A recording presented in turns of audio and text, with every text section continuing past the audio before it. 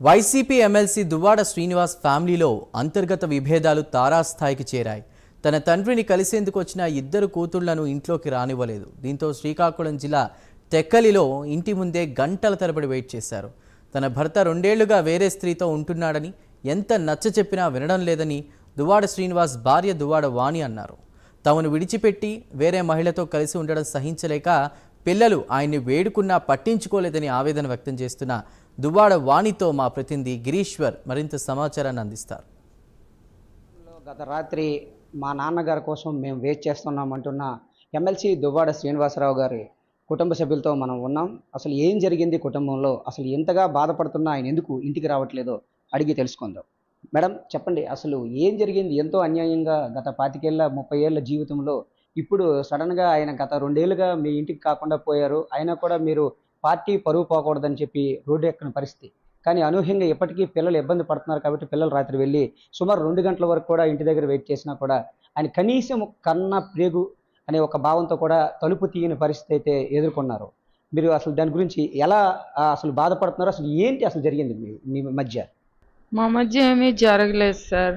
ఎలాంటి సిట్యుయేషన్స్ కూడా negative situations అనేవి జరగలేదు. ఖచ్చితంగా మాకు క్యాడర్ నుండి కానీ లీడర్స్ నుండి కానీ లోకల్ దీని నుండి కానీ నాకు ఈ ఒక ఇల్లీగల్గా పొలిటికల్లో కూడా ఏదో గడప గడప కార్యక్రమము చేస్తున్నప్పుడు ఒక లేడీ వచ్చి డిస్టర్బెన్స్ చేస్తుంది. మనకి పార్టీకి నష్టం జరుగుతుంది అని ఈ రకంగా ఆయనకి దారుణం. అంటే ఒక దీనిగా సంబోధిస్తుంది. గౌరవంగా లేదు. మేము గడప గడప చేస్తున్న ప్రోగ్రామ్స్ ఏవి గౌరవంగా లేవు. చాలా దారుణంగా ఉన్నాయి అని చెప్పేసి నాకు క్యాడర్ కంప్లైంట్ చేస్తున్నప్పుడు కూడా నేను నమ్మలేదు. ఏంటిది? ఎందుకు ఇలా జరుగుతుంది? ఏమో సొసైటీలోన కొంతమంది దీనిగా చనువుగా ఉంటే ఏదో కొంతమంది పబ్లిక్ ఈజీగా టాక్ చేసేస్తారు కదా. అలాగే ఏమైనా జరుగుతుందేమో అని శ్రీని గారి దృష్టిలో పెట్టాను. ఏంటి ఇలాగ అంటున్నారంటే ఏ ఎవరో ఏవో చెప్తారు. ఆ మాటలు నువ్వు నమ్మద్దు. ఆ కేవలం ఆవిడ కోడ్ బ్యాంక్ ఉంది అని అంటే నా దగ్గరికి చాలా మంది లేడీస్ వస్తారు. నేను చాలా మంది లేడీస్తో చనువుగా ఉంటాను. నాన్న రాజకీయాల నుండి మా తాతగారి రాజకీయాల నుండి మాకు పబ్లిక్ కానీ లేడీస్ కానీ ఇంట్లో నాకు ఇదేమి పొలిటికల్గా నేను కొత్తగా ఎంటర్ అయిన ఫ్యామిలీ కాదు. పూర్వం నుండి నాకు ఈ వాతావరణం అనేది చాలా చనువు అలవాటు. గారికి అసలు పూర్తిగా అసలు రాజకీయ జీవితాన్ని ఇచ్చిందే మీ సంపత్రావు గారి కుటుంబం మీ నాన్నగారి నుంచి మీ నుంచే ఆయనకి రాజకీయ జీవితం వచ్చిందని కూడా బహిరంగంగానే నియోజకవర్గంలో చెప్పుకుంటారు. ఎంతవరకు వస్తాం ఆయన ఈ నేటివ్ ఆఫ్ పలాస అండి. మోరోవర్ మాకు ఓన్ రిలేషనే బయట వాళ్ళు అయితే కాదు. కాకపోతే నేను ఇష్టపడి మ్యారేజ్ చేసుకున్నాను. పేరెంట్స్ అబ్జెక్ట్ చేశారు. రిలేటివ్స్ అందరు కూడా అబ్జెక్ట్ చేశారు. వాళ్ళు కరెక్ట్ కాదు. వాళ్ళ వల్ల రేపు ఫ్యామిలీ లైఫ్ ప్రాబ్లమ్స్ ఫేస్ చేస్తారని కూడా ముందు నుండి అబ్జెక్షన్ అనేది మా ఇంట్లో జరుగుతుంది. అయినప్పటికి కూడాను పేరెంట్స్ని ఇచ్చేసేసి నేను ఎగ్నెస్ట్ చేస్తూనే నేను బయటికి వెళ్ళిపోయే సందర్భం. అయినప్పటికీ పేరెంట్స్ పిల్లలు దీన్ని మరి అంత చెప్పిన వినడం లేదని. మా పేరెంట్స్ ఆబ్వియస్గా మ్యారేజ్ చేయడం చాలా గ్రాండ్గా నా మ్యారేజ్ కూడా చేశారు. నేను నాకు వాళ్ళకి ఇష్టపడినప్పటికి కూడా చాలా గ్రాండ్గా మ్యారేజ్ చేశారు. గ్రాండ్గా మ్యారేజ్ చేసిన తర్వాత వాళ్ళు పలాస పంపించకన్నా మా ఫాదర్కి సన్స్ లేరు కాబట్టి ఇక్కడే వాళ్ళ ఇంట్లోనే ఉంచుకుంటూ ఆయనకి ఫైనాన్షియల్గా కూడా పికప్ చేయడం జరిగింది. పికప్ చేసిన తర్వాత పొలిటికల్ జడ్పీటీసీ ఎలక్షన్స్ వచ్చి మహిళా రిజర్వేషన్ వచ్చింది. మా మదర్ చేస్తారనుకున్నప్పటికీ మళ్ళీ ఈయన ఇంట్రెస్ట్ చూపించడంతో మా మదరు మా ఫాదరు సరేలే అని చెప్పేసి చెప్పడం జరిగింది. మా అయితే మా ఫాదర్కి మేము పాలిటిక్స్కి రావడం అనేది ఇంట్రెస్ట్ లేదు. వద్దని చెప్పారు. ఎందుకంటే నేను రాజకీయాల్లో సక్సెస్ కాలేదు. ఫైనాన్షియల్గా చాలా కష్టాలు పడి ఇప్పుడిప్పుడే మీరు బిజినెస్లో డెవలప్ అవుతున్నారు కాబట్టి రాజకీయాలు అంత ఈజీ కాదు. మీరు హాయిగా బిజినెస్లో సక్సెస్ఫుల్గా ఉండండి అని అన్నారు. కానీ ఆయన ఎక్కువ ఇంట్రెస్ట్ చూపించడంతో నేను జడ్పీటీసీగా పోటీ చేయడం జరిగింది. తర్వాత ఎమ్మెల్యేగా కూడా రెండు వేల నాలుగులో రాజశేఖర రెడ్డి గారు నాకు ఇవ్వడం జరిగింది రెండు వేల నాలుగులో. అప్పుడు కూడా కంటెస్ట్ చేశాను. ఇలాగా ఆయనకి పాలిటిక్స్ ఇంట్రెస్ట్ నాకు పొలిటికల్ బ్యాక్గ్రౌండ్ ఉండడం వల్ల నేను ఫోకస్ అవ్వాల్సిన పరిస్థితి వచ్చింది. కానీ మరోవర్ నాకైతే పాలిటిక్స్ ఎప్పుడు ఇంట్రెస్ట్ లేదు. తప్పని పరిస్థితుల్లో నేను పాలిటిక్స్లోకి రావాల్సి వచ్చింది. మహిళా రిజర్వేషన్స్ ఆ రోజు రాజశేఖర రెడ్డి గారు పీసీసీ అధ్యక్షులుగా ఉండేటప్పుడు మా ఫాదరు రాజశేఖర రెడ్డి గారు ఒకే దీంట్లో ఉండడం. రాజశేఖర రెడ్డి గారికి కూడా మా డాడీ మా ఫ్యామిలీ అంటే తెలియడం. శ్రీని గారు మధ్యలో ఆ రాజశేఖర రెడ్డి గారికి మీ కుటుంబంతో ఇంత సన్నిహితం ఉన్నప్పుడు కూడాను ఈ యొక్క రెండు వేల ఇరవై రెండు వేల తొమ్మిదిలో అనూహ్యంగా ప్రజారాజ్యం పార్టీకి అయితే కాంగ్రెస్ పార్టీతో విభేదాలను పెట్టుకుని వెళ్ళటం జరిగింది. అప్పుడు కూడా మీరు ఆయన వెనువెంటే ఉన్నారు.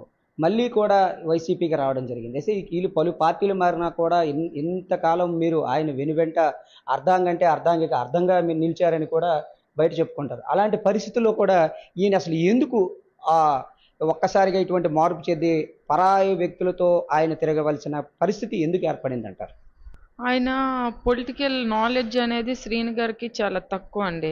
మనుషులు చాలామంది నేను స్పీకర్స్ని చూశాను పొలిటికల్గా స్పీకర్స్ని మాట్లాడతారు. చేతల్లోకి వచ్చేటప్పటికి ఇంప్లిమెంటేషన్ అనేది చాలా తక్కువ ఉంటుంది. అట్లానే శ్రీని గారి బిహేవియర్ కూడా అసాధ్యమైన పనులు కూడా సాధ్యంలాగా వేదిక మీద ఊ- అంటే చాలా చక్కగా క్లాప్స్ కొట్టేటట్టు ప్రజలను ఆకర్షించేటట్టు లీడర్స్ని ఆకర్షించేటట్లు అగ్రెసివ్గా యాంటీగా క్యాష్ చేసుకొని సోషల్ మీడియా ఈరోజు సోషల్ మీడియా అనేది చాలా ఎక్కువ స్థాయిలో ఉంది కాబట్టి దాన్ని క్యాష్ చేసుకొని అగ్రెసివ్గా మాట్లాడడం. దాన్ని లీడర్స్ చూసిన వాళ్ళు ఏమనుకుంటారంటే ఈయన ఏదో మంచి స్పీకరు మంచి పొలిటీషియన్ బట్ గ్రౌండ్ లెవెల్లో వచ్చేటప్పటికి ఆ వాస్తవాలు అయితే ఇంప్లిమెంట్ లేవు. అవి అందరికీ తెలిసిన విషయాలే. ఎప్పుడైనా ఏ పొలిటీషియన్ అయినా మాట్లాడేటప్పుడు వాళ్ళు పెద్దగా స్పీకర్స్ కాకపోవచ్చు. ఎందుకు అంటే కొన్ని ఇంప్లిమెంట్ చేయగలం కొన్ని ఇంప్లిమెంట్ చేయలేం. సో మనం మాట్లాడేటప్పుడు ఆచి తూచి ఆలోచించి చూసుకుంటే మొన్న రెండు వేల ఇరవై నాలుగు ఎన్నికల్లో కూడా ఆయనకి అనూహ్యంగా అసలు మీకే టికెట్ ఇస్తామని చెప్పి ఒక మూలపేట పోర్టు శంకుస్థాపన రోజు జగన్మోహన్ రెడ్డి గారు ఆయన పేరు అయితే ప్రకటించడం జరిగింది. అనంతరం కొన్నేళ్ళ కొన్న నెలలకే మీ పేరునైతే ప్రకటించడం జరిగింది. మీరు చాలా ఇక్కడ నియోజకవర్గంలో పట్టు సాధించేంత వరకు కూడా తిరిగారు. మహిళగా మీ అనారోగ్యం కారణం ఉన్నప్పుడు కూడా మీరు చూడకుండా కూడా తిరిగిన పరిస్థితి అయితే ఉంది. ఆ యొక్క విభేదాలకే ఆయన పరాయి వ్యక్తులతో తిరుగుతున్నాడని చెప్పి ఆయన కేడర్ అంటుంది. దాన్ని మీరు ఎలా విమర్శిస్తారు? ఏం లేదండి. ఆయన మీకు ఇదే చెప్తున్నాను. పొలిటికల్గా ఎవరితోని శత్రుత్వమే. ఆయనకి ఎవరితోని అనుకూలత లేదు. ఓన్ పార్టీతో లేదు. బయట ప్రతిపక్షాలంటే ఎలాగా ఉండవు. ఓన్ క్యాడర్తో లేదు ఎవరితో లేదు. కేవలం అధిష్టానం దగ్గర ఒక ఇది చేసుకుని టిక్కెట్లు తెచ్చుకోవడం ఇక్కడ అతనే అచ్చిన్నాడికి ఎదిరించగలరు ఆయన ఒక ఫోకస్ చేసుకోవడం ప్లస్ ఏ లీడర్స్ కూడా నాకు సపోర్ట్ ఇవ్వడం లేదు ఒక అధిష్టానమే నాకు సపోర్ట్ ఇస్తుందని ఒక ఫోకస్ ఇచ్చుకోవడం ఆ రోజు కూడా రాజశేఖర రెడ్డి గారికి పొగడ్డం ఈరోజు కూడా కూడా జగనన్నని రాముడు దేవుడు అని చెప్పడం. ఈ రకంగా ఏంటంటే అధిష్టానం దగ్గర మేనేజ్మెంట్ చేసుకొని ఇచ్చేస్తున్నారు తప్ప అక్కడ చేసిన మేనేజ్మెంట్ ఇక్కడ గ్రౌండ్ లెవెల్లో పబ్లిక్తో అటాచ్మెంట్ కానీ ఆ సిస్టమ్స్ కానీ లేవు. ఎవరితో కూడా పడదు. ఆలోచన నేను ఒక్క జగనంతోనే ఉంటే చాలు అని ఆ రకంగానే ఆలోచించుకొని కేవలం ఆ కోణంలోనే వెళ్తున్నారు. జగనన్న ఈయన పద్ధతి బాగులేదు అనేది జగనన్నకు తెలియడం లేదు. పాపం క్యాడరు లీడర్స్ అందరూ వెక్స్ అయిపోతున్నారు. మరి ఏదో ఒక రకంగా మాత్రం మేడం గతంలో కూడా మీరు సమయవర్కర్తగా ఉండేటప్పుడు ఆ తర్వాత కూడా ఆయనకి మళ్ళీ ఇచ్చినప్పుడు కూడా నాలుగు మండలాల్లో నియోజకవర్గంలో చాలా వ్యతిరేకత వచ్చి జగన్మోహన్ రెడ్డి గారికి సాక్షాత్ ఎంపీటీసీలు జడ్పీటీసీలు కొంతమంది అయితే వెళ్ళి చెప్పటం కూడా జరిగింది. ఆయన అప్పుడు కూడా ససేమిరే అన్నారు. అసలు కేవలం ఈ టెక్కల్ నియోజకవర్గంలో ఆయన ఎన్నిసార్లు పోటీ చేసినా వాటం పాలవుతున్నారు తప్ప గెలిచి గెలచడానికి అవకాశాలు ఉన్నప్పుడు కూడా గెలవలేని పరిస్థితి అయితే ఎదుర్కొంటున్నారు. కారణం ఆయనకి రాజకీయం తెలియదని మీరు అంటున్నారు. అయితే ఇప్పుడు అనూహ్యంగా మీ కుటుంబాన్ని అయితే పూర్తిగా రెండు నెల రెండేళ్ళుగా విడిచిపెట్టి సపరేట్గా ఆయన ఒక పెద్ద బంగ్లా కట్టుకొని ఊరి చివర ఉంటున్నారు. అయితే ఇన్నాళ్ళు మీరు జగన్మోహన్ రెడ్డి గారి దృష్టికి తీసుకువెళ్ళలేదా? తీసుకొని వెళ్ళాం సార్. ఆయన ట్రాప్ అయ్యారు. విషయం నేను వాస్తవానికి నేను సబ్జెక్ట్ చెప్పడానికి ఈయన లేనిపోని విధంగా ప్రవర్తించడం ఎవరికి పార్టీలు ఇష్టం లేకపోవడం రకరకాల ఎవరు ట్రాప్ చేశారో మరి ఒక లేడీని పెట్టి ట్రాప్ చేయించారు. మా దగ్గర ఏంటంటే అధిష్టానం దగ్గర ఏమని చెప్పారంటే అది నా వ్యక్తిగత విషయం నా- పర్సనల్ విషయం ఆవిడతో నాకు ప్రాబ్లమ్స్ ఉన్నాయి.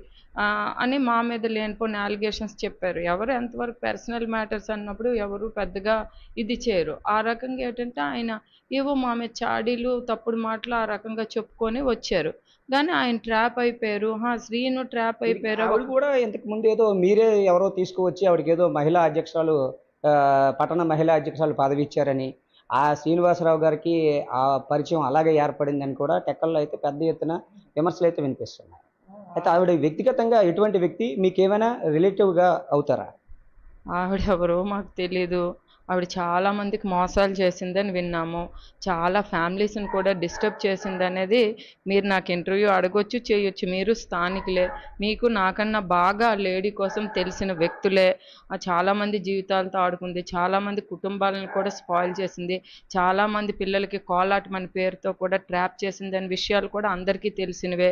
అవన్నీ మనకు నా లైఫే ఎగ్జాంపుల్. ప్రూఫ్గా చెప్పుకోవాలంటే మా ఇంట్లో నాడు ఎవరో సంబంధం లేని వ్యక్తి వచ్చి నేనేదో ఆవిడికి ఏ మహిళా కన్వీనియర్ మహిళా అధ్యక్షురాలు ఇచ్చానని చెప్పుకొని ఆ లేనిపోని రూమర్స్ నేనే పరిచయాలు చేసిన ఆవిడ ఎవరో నాకు తెలీదు. ఇలాగా నాకు చిన్నప్పటి నుండి మహిళలు రావడం లేకపోతే పొలిటికల్గా చాలామంది మనుషులు రావడం రకరకాల అబ్బాయిలు అమ్మాయిలు అందరూ మన ఇళ్ళకి వస్తారు. ఎవరినైనా మనం గౌరవించాలి. మనం రాజకీయ కుటుంబం నుండి వచ్చే మనకు అన్ని మంచి చెడులు తెలుసు. కాబట్టి ఆ రకంగా గౌరవిస్తాం. కానీ ఈ రకంగా ఎవరు ట్రాప్ చేయడానికి మనకు వచ్చారు అనేది అంత గబుక్కున ఆలోచించాం కదా. ఇవన్నీ జరిగిపోయిన చివరగా నష్టం. చివరగా మీరు ఏం కోరుకుంటున్నారమ్మా? ఆయన్ని ఇంటికి తీసుకొచ్చి పిల్లలకి తండ్రిగా ఆయనకి ఆదరించమని కోరుకుంటున్నారా? లేక ఏమైనా ఆయన దగ్గర నుంచి మీరు ఇంకేమైనా కోరుకుంటున్నారా? గిరిగారు నేను ఒకటే చెప్తాను. మేము రమ్మని అడగడం లేదు వెళ్ళిపోమని చెప్పడం లేదు. అది ఆయన వ్యక్తిగతం ఆయన ఇంట్రెస్ట్. ఆయన ఆ ఈ ఇల్లు కూడా ఆయన పేరునే ఉంది. మా పేరుని లేదు. ఆ ఇల్లు కూడా ఆయన పేరునే ఉంది. మాకు సంబంధం లేదు. ఆయనకి మా మీద రాంగ్గా ఏదో ఫోకస్ చేయాలని ఒక ఆలోచనతో ఆయన తప్పుడు ప్రచారాలు చేస్తున్నాడు. ఆయన ఆయనతో ట్రాప్ అయిపోయారు. ఆ ట్రాప్ నుండి బయటపడాలంటే ఆవిడ బ్లాక్మెయిల్ చేస్తుంది. ఆ బ్లాక్మెయిల్ చేస్తుంది కాబట్టి ఏదో ఒక రకంగా పబ్బం గడుపుకోవడానికి ఇవన్నీ చేస్తున్నారు. మాకు సంబంధాలు లేవు. పిల్లలు తండ్రి దగ్గరికి వెళ్తానని ఆలోచిస్తున్నారు. ఇప్పుడే కదా గతంలో కూడా ట్రై చేశారు. అప్పుడు కూడా ఇలాగే బయటికి రాకుండా రోడ్డు మీద ఆయనకి ఆడపిల్లలు అంటే చాలా ఇష్టము. అలాంటిది కూడాను పిల్లల్ని విడిచిపెట్టి ఎలా ఉన్నారు అనేది కూడా బయట అయితే చర్చ సాగుతుంది. మాకు అదే ఆశ్చర్యం అండి. చాలా ఆశ్చర్యం. మా ఫ్యామిలీ ఎంత డిస్టర్బ్ అయిపోయింది ఏంటా అనేది నాకే ఆశ్చర్యం. ఒక వైఫ్గా నేను చెప్తాను కదా ఇల్లీగల్ అఫైర్స్ ఉన్నాయంటే ఉన్నాయని ఏ భార్య ఏ- ఒక- రోజు దొరకపోతే ఇంకొక రోజు ఇంకొక రోజు దొరకపోతే మాకు ఇలాగ అనుమానాలు ఉన్నాయి ఇలా జరిగాయండి గతంలో కూడా ఏ వైఫ్ అయినా చెప్తా.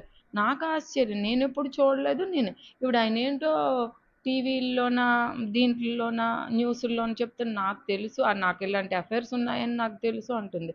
అఫైర్స్ ఉన్నాయని నాకేం తెలుసు? నాకు తెలిస్తే మరి ఇప్పుడు స్పందించింది దాని చిన్న ఏజ్లోనే నేను స్పందిస్తాను కదా. ఇప్పుడు ఎందుకు? ఈజీ. నా ఐఎమ్ రన్నింగ్ నా ఫిఫ్టీ ఇయర్స్. ఆయన November fourth fifty nine complete అయిపోయి సిక్స్టీస్లోకి ఎంటర్ అవుతారు నేనెందుకు? ఒక పాప మ్యారేజ్ అయిపోయింది. ఆవిడ ఒక చాలా దారుణమైన లేడీ కాబట్టి మా ఇంట్లోనొచ్చి ఆవిడ ఉంటుంది ఇక్కడ. మా ఇంట్లోనే వచ్చి ఉంటున్నప్పటికీ మేము అది మా పిల్ల ఇంకొక పాప మ్యారేజ్ ఉంది. రీసెంట్గా పెద్ద పాప మ్యారేజ్ ఉంది మా ఫ్యామిలీ ఎంత ఎఫెక్ట్ అవుతుందండి? టెక్కల్లో లోకల్లో మాదొక రిప్యుటేటెడ్ మా మా గౌరవమైన ఫ్యామిలీ మేము. పూర్వం నుండి తండ్రి నుండి తాతల నుండి మేము పాలిటిక్స్ చేస్తున్నాం. మా తాతగారు ఎమ్మెల్యేగా పోటీ చేశారు. మా డాడీ త్రీ ఫోర్ టైమ్స్ చేశారు. నేను ఒకసారి ఎమ్మెల్యేగా చేశాను. మా ఫాదర్ ఎంపీపీగా చేశారు. నేను జెడ్పీటీసీగా చేశాను. మాది ఒక బ్యాక్గ్రౌండ్ ఉంది ఫ్యామిలీలో మాకు పరువులు తీసేస్తామంటే మా మా మా పరిస్థితి ఏంటి?